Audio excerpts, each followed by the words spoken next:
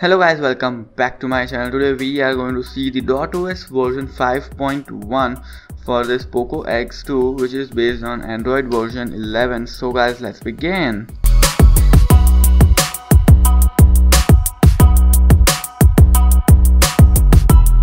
So as you guys can see here, the DotOS version is 5.1, the Android version 11 the kernel we get here is the Redcliffe version 2.5 so yes which is great and the build date here is May 28 the security patch level we get here is 5th May 2021 so yeah these were the specifications. Now moving back this is the new UI of the about phone which is a kind of MIUI then going back this is the settings panel. As you can see completely redesigned the connectivity personalized security and others. These are the settings categories which has it has divided into.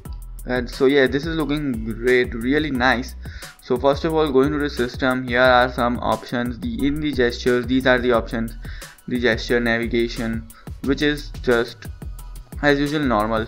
Then you get to see the option lift to check phone but this is just not working. Here is a bug that this lift to check phone here is just not working. Then these are the other options. In the system updates this is here is also a bug. Here it is showing the update check failed. So yes there will be no updates no OTA updates in this ROM. Then going back you get to see the normal digital well-being available here. Then in the security these are the options the pin the fingerprint face unlock here is also working absolutely fine. And you also get to see the app lock but it this app lock option here is in the customization settings so okay then moving forward going to the battery here. The battery backup i must say here is good. You will get around 5 hours of screen on time so as you can see this is my usage from this was from 90% to 55% currently. And here it is showing the screen on time is 2 hours and 55 minutes. I'll show you the whole records here in the AccuBattery in the history. As you can see the charging time from 4% to 92% the phone took 80 phone took 1 hour and 21 minutes to charge. So yes the charging time here is long. And uh, talking about the battery drain here from 80% to 4% battery drain it it got only 4 hours and 12 minutes of screen on time. So which is in term my terms less but as you can see from 91% to 61% I got 2 hours and 20 minutes 2 hours and 20 minutes of screen on time and from 61 to 16 another 2 hours 50 minutes. So yes this is around almost 5 hours of screen on time from 91% to 16% battery drain. So yeah you will get around 5 hours 5 to 6 hours of screen on time at 120 Hz display.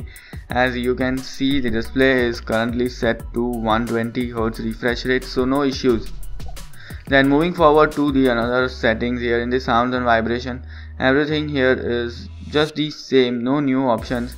This is the new volume panel the UI as you can see it is not new but yeah this is how it looks. Then these are all the options. Then uh, you get to see the direct sound enhancer. So yeah these were the options. Then going to the display options these are also just the same as usual just normal other stuff. Here there is a bug in this option the double tap to wake. The double tap to wake as you can see most of the times just don't work. As you can see yeah. So yeah this is a bug present here that the double tap to wake almost every time it just don't work I in my usage. Then these are the device specific refresh rate the refresh rate options then uh, the battery saver refresh rate then you get to see the themings and everything. I'll just show you the customizations of tab. So here is the customizations. This is the new ui as you can see. In the wallpapers these are the options available like the. dot .os exclusive ones. So yeah this is a great thing. Then in the AOD and lock screen these are the options. You can turn on the AOD from here always on display. The edge lighting edge lighting color mode as you can see the custom colors you can select from here. Then in the status bar these are the options available here then the quick settings these are the options the columns and rows you can customization. This is the whole new UI which I have seen for the first time and this is only in the DotOS then here is the app locker available so yeah so you have to go to the customize set customizations set and uh, go to the app lock to turn on. Here is the option the lab available but i just turn it off. If you want i can turn it on. The lab the enable engine then the colors will be the theme the accent colors of the UI will just change according to the wallpaper. As you can see it has changed to red. It will change according to wallpaper. Let me just change the wallpaper again. Let me just set this wallpaper. Now the X accent color will just change to yellow or something. As you can see. So yeah this is something new and this is something great that the accent color accent color will just change according to the U wallpaper and uh, if you turn this off then it will be just to turn to the default blue accents then these these are the clock face available. Okay then here is the buttons customization the wake volume but wake device with volume buttons and stuff. Then here are the themes option the theming. As you can see the fonts you can customize the icon pack icon shapes the accent color smart accent picker as you can see reducible transparency and everything. So these are some options. Then in the system these are some options available. The launcher grade here. And these are the maintainers for the particular device. So yes this was it for the customizations. Now going to the home screen. This is the home screen as you can see. This is like the stock UI and swiping right? We get to see the Google feed. But as you can see the quick settings here has a new UI and which is looking much much clean as you can see and it's looking great. Wi-Fi working VoLTE LTE Wi-Fi calling here is just working perfectly fine. All of the options in the quick settings are working and you will get to see the refresh rate option. The screen recorder here is also working fine. So yeah this was the quick settings and the screen recorder here is also working fine. Then talking about the camera the default camera we get here is just the normal cam. These are the options we get we get to see. So yeah this is the default camera we get. Then uh, talking about the google camera as usual the google camera will be just working absolutely fine. Then talking about the safety net here the safety net status has also passed and uh, banking apps are running perfectly fine. No issues with the banking apps also banking apps are running great. Absolutely fine. The play store the play protect certification as you can see device is certified. So yes then talking about the performance so here are the geekbench scores. By the time i am recording the video i had forgot to do the geekbench and antutu benchmark. So here are the screenshots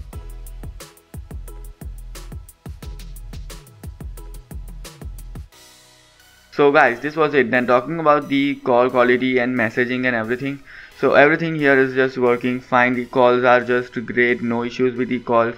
Wi-Fi calling also working. LTE HD call here are also working. VoLTE also working. So yes this was it. Now let's just talk about the bugs here. The bugs I had just shown you that as you can see the double tap to wake here just don't to work as you can see it just don't work almost all the time. And sometimes I had faced the lags while opening the apps or stuff. But as you can see the apps and everything here is just fluid. The performance overall performance of this ROM here is also great. The ROM here is fluid and smooth enough. The gestures here are just working perfectly fine as you can see no issues but sometimes I had faced the bug that while going to the recents the UI just gets stopped here like at this place the UI just gets stopped and you will not be able to do this or that. You will not be able to close the app. So yes there are no major bugs present in this ROM the ROM here is just working absolutely fine so if you want to use it as a daily driver then you can use it as a daily driver. And there are no issues. Everything here so far is working absolutely fine. So yeah this was it for now. If you enjoyed this video then don't forget to hit the like button. If you are new to this channel then please guys subscribe to the channel. And if you have any questions then you can ask me in the comment section below or in the telegram group. I'll meet you in the next one. Till then stay safe have fun and goodbye